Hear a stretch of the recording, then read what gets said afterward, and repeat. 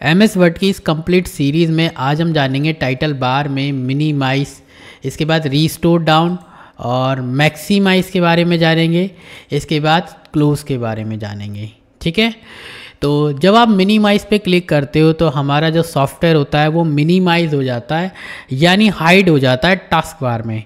जब आप उस पर टास्क बार पे जाओगे, उसके आइकन पे क्लिक करोगे या फिर उस पर कर्सर ले जाओगे तो वो आपको शो होता है। आप जब उस पर क्लिक करोगे तो ये होता है मैक्सीमाइज़ रीस्टोर डाउन क्या होता है? जब आप इस पर क्लिक करोगे तो जो आपका एम एस वर्ड का सॉफ्टवेयर होगा, वो रीस्टोर डाउन हो जाएगा। यानी स्मॉल हो जाएगी इसकी विंडो मैक्सिमाइज होता है। जब आप इस पर क्लिक करोगे तो अब आपका सॉफ्टवेयर मैक्सिमाइज होता है। मिनिमाइज और मैक्सिमाइज की शॉर्टकट की होती है। विंडो प्लस डी प्रेस करोगे तो मिनिमाइज हो जाएगा। विंडो प्लस डी फिर से प्रेस करोगे तो मैक्सिमाइज। विंडो प्लस डी से मिनिमाइज, विंडो प्लस डी से ही मैक्सिमाइज कर सकते हो आप।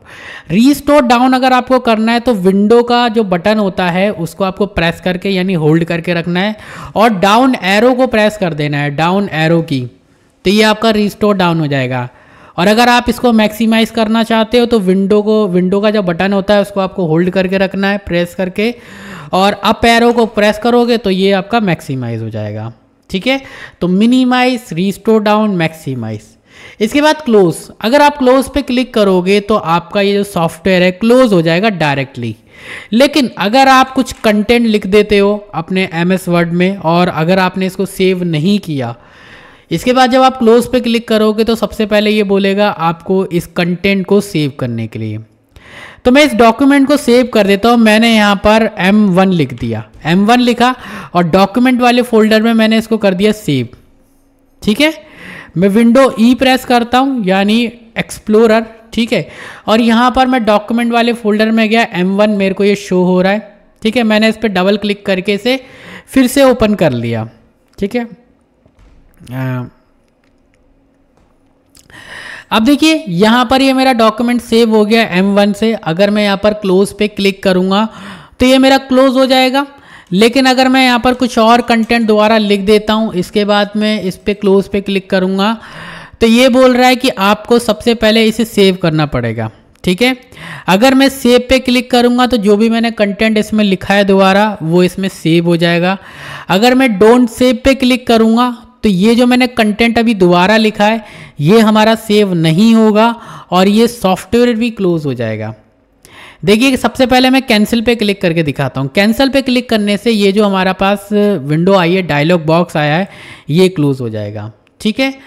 अब देखिए, यहाँ पर मैं डोंट सेव पे क्लिक कर रहा हूँ। डोंट सेव पे क्लिक करने से क्या होगा? ये हमारा सॉफ्टवेयर क्लोज हो जाएगा और जो मैंने अभी कंटेंट इसमें दोबारा लिखा है, वो सेव नहीं होगा।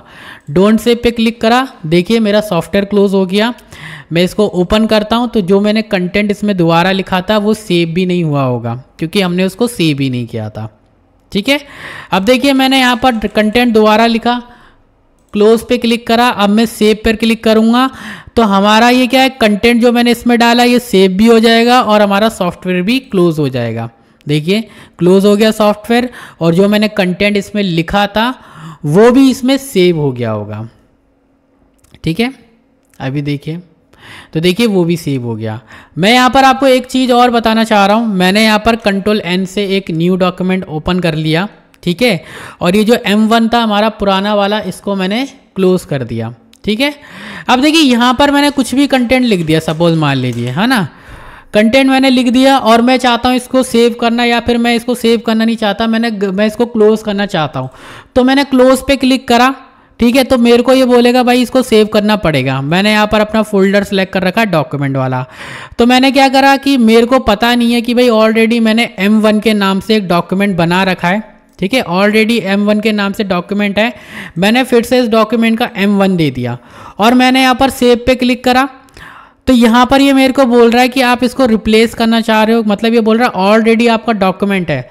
और मैंने कुछ भी नहीं देखा, मैंने बस ओके पे क्लिक कर दिया। ठीक है, अब हुआ क्या? हुआ ये कि आपने अगर जो M1 जो पुराना डॉक्यूमेंट उसको अगर आपका वो इम्पोर्टेंट डॉक्यूमेंट होगा, और आपने एक नए डॉक्यूमेंट में वही नाम दे दिया और जल्दी जल्दी में उसको क्लोज करते वक्त सेव कर दिया तो आपका जितना पुराना कंटेंट होगा वो चले जाएगा। अगर वो इम्पोर्टेंट होगा, वो सब चले जाएगा, और जो आपने नया लिखा था, वो आ जाएगा। तो ये होता है क्लोज के बारे में। तो आई होप आपको इसके बारे में समझ में आया। जब भी आप इसको क्लोज करो ठीक है? तो अपने कंटेंट को सेव करो और हमेशा ये देखिए कि आप किस नाम से सेव कर रहे हो। ऑलरेडी वो नाम से एग्जिस्ट तो नहीं है कोई डॉक्यूमेंट ठीक है? वरना आपका पूरा डॉक्यूमेंट जा सकता है। जैसे कि मैंने यहाँ पर ये पूरे डॉक्यूमेंट को डिलीट कर दिया, जो भी कंटेंट था, मैंने क्लोज पे क्लिक करा सेव पे क्लिक कर दिया। अब मान लीजिए एम से ऑलरेडी डॉक्यूमेंट था और एग्जिस्टिंग मैंने सेव कर दिया, जब मैं अपने पुराने डॉक्यूमेंट को ओपन करूँगा, जिसमें मेरा बहुत बढ़िया डेटा था ओपन करूँगा तो मेरा वो सारा डॉक्यूमेंट चले जाएगा क्योंकि मैंने एक नया डॉक्यूमेंट बनाया, उसका कंटेंट डिलीट कर दिया, मैंने जल्दबाजी में क्लोज करा और मैंने सेव कर दिया उसी नेम से जो एग्जिस्टिंग डॉक्यूमेंट था। तो मेरा क्या हुआ? पुराने डॉक्यूमेंट से सारा कंटेंट चले गया। तो आई होप आपको क्लोज के बारे में समझ में आया हो। तो मिलेंगे नेक्स्ट वीडियो में। जब तक लिए bye bye thank you and take care